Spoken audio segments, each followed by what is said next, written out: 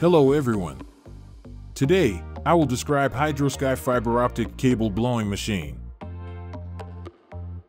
You can use it as a user manual as well. First of all, our machine consists of three units.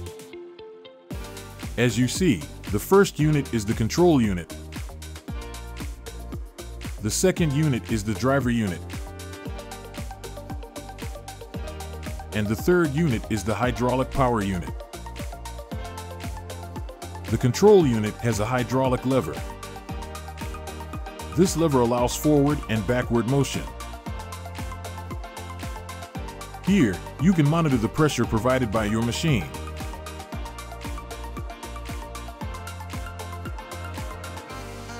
The driver unit consists of three sections. The first section is the length measurement unit, and the second section is the main driver. The third section is the outlet unit. In the length measurement section, the fiber optic cable passes through the wheel and enters the driver unit and proceeds toward the outlet unit.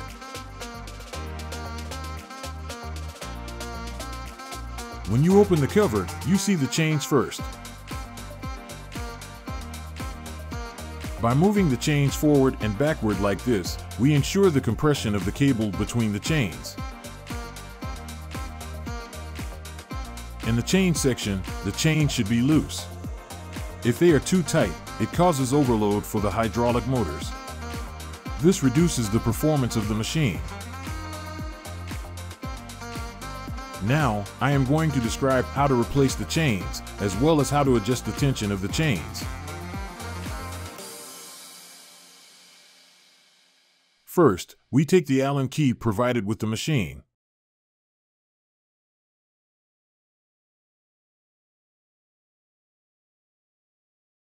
We loosen it a little bit, then we loosen the other one the same way.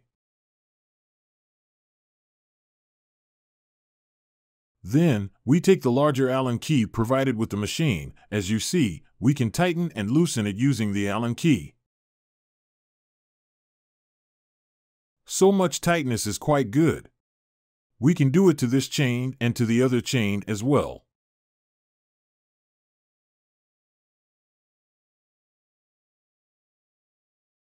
We can loosen it this way.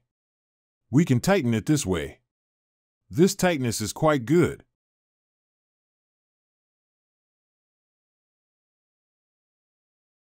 Then you can dismantle the chains and replace them with new ones. You can loosen the chains in the same way here. Then we tighten one of your chains by turning in the opposite direction.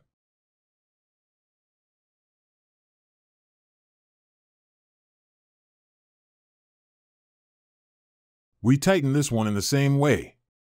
The chains are replaced in this way.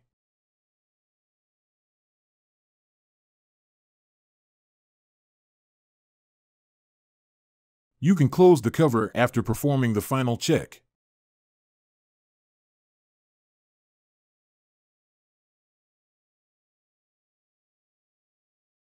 In the outlet unit, there is a compressor coupler provided with the machine.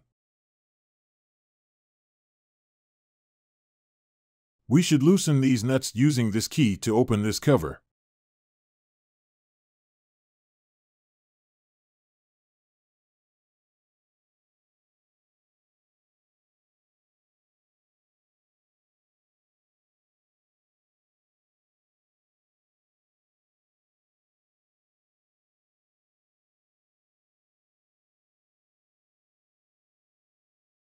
After loosening the bolts and opening the cover, you can see a hydraulic seal here. You can select the hydraulic seal with the right size from the packages provided with the machine. If the diameter of the cable is 10 millimeters as written here, you need to use this hydraulic seal. You can place the hydraulic seal on its bed in this way. The hydraulic seals and pipes touch to the O-rings is very important. If there is a space between them, it causes air leakage.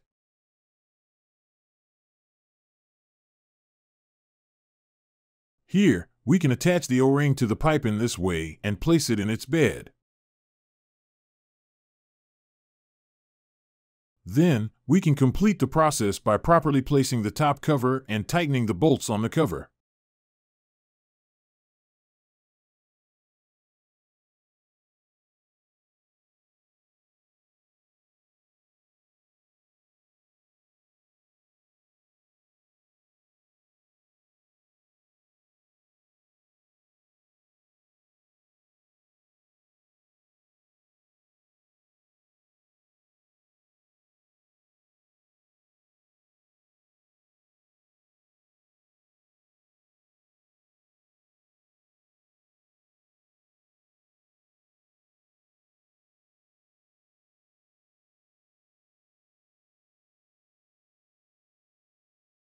As you can see, our pipe is placed tightly.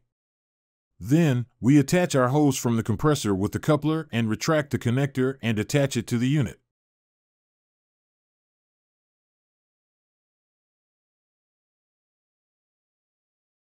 We check it for the last time after attaching it to the unit. In our hydraulic power unit, first of all, we should fill hydraulic oil 46 No in the unit. We should fill in about 15 to 20 liters of hydraulic oil. We should see the oil level on this gauge. If we do not see it here, the amount of oil filled is insufficient, which leads to poor performance and, in some cases, damage to the machine. This is the oil drain pipe. We recommend that you should change your oil completely every six months. This is the filter, and you should first check this filter when there is any clogging, etc.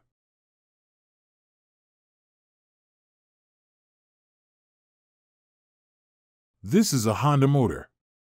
We can make the required adjustments here to start our engine.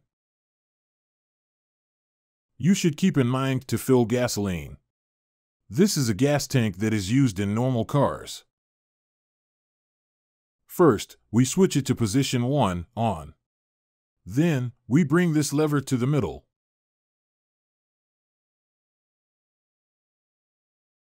From a different angle, it seems like this. Then, we pull the pull string of the motor.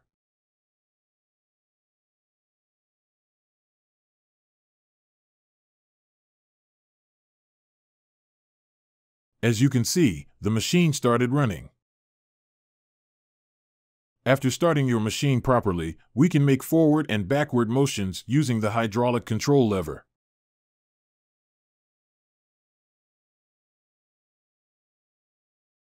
If you want to increase the power of the motor, you can move this lever upwards.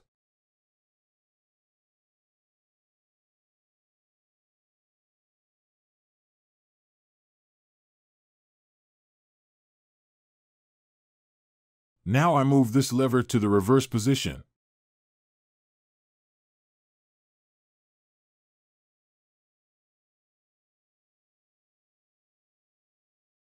Using this lever, we can adjust the change to grip the cable exactly.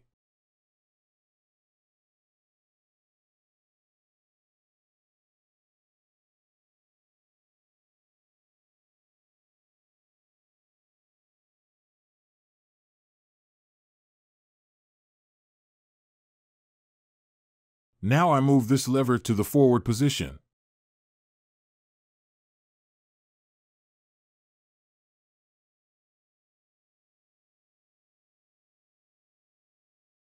With this machine, you can move your fiber optic cable in backward and forward directions.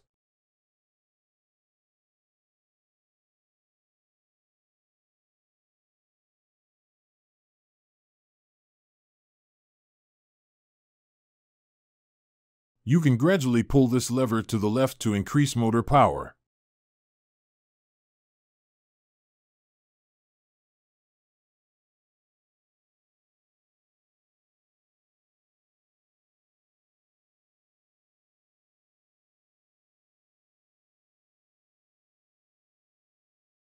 You can switch to the off position to turn off the system completely.